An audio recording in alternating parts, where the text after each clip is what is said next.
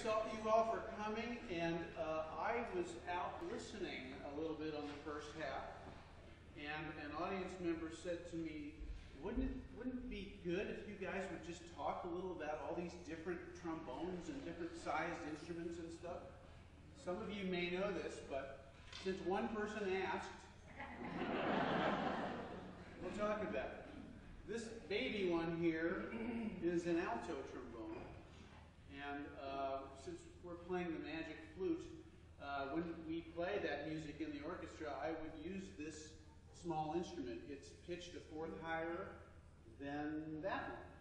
Right, and this is the called the tenor trombone, and this is the the size of trombone that uh, normally uh, a, a, student would, would begin with in sixth grade or fifth grade. Like I started in sixth grade, for example.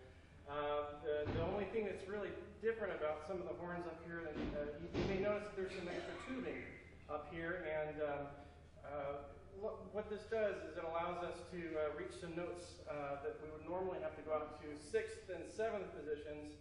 We just hit the valve. And that really, it really helps us out a lot. A lot. It gives us an extra, some extra lower notes that, that, that are helpful. And if you're if you're really special, you get to have two valves and uh, we're. Yeah. I always knew I was special. Yes, two valves when one is not enough.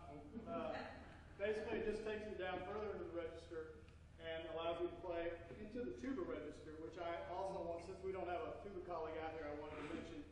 Along with our trombones, we have tubas pitched in B flat, pitched in C, pitched in F, Tenor tubas, euphoniums, you might know them as baritone horn or euphoniums.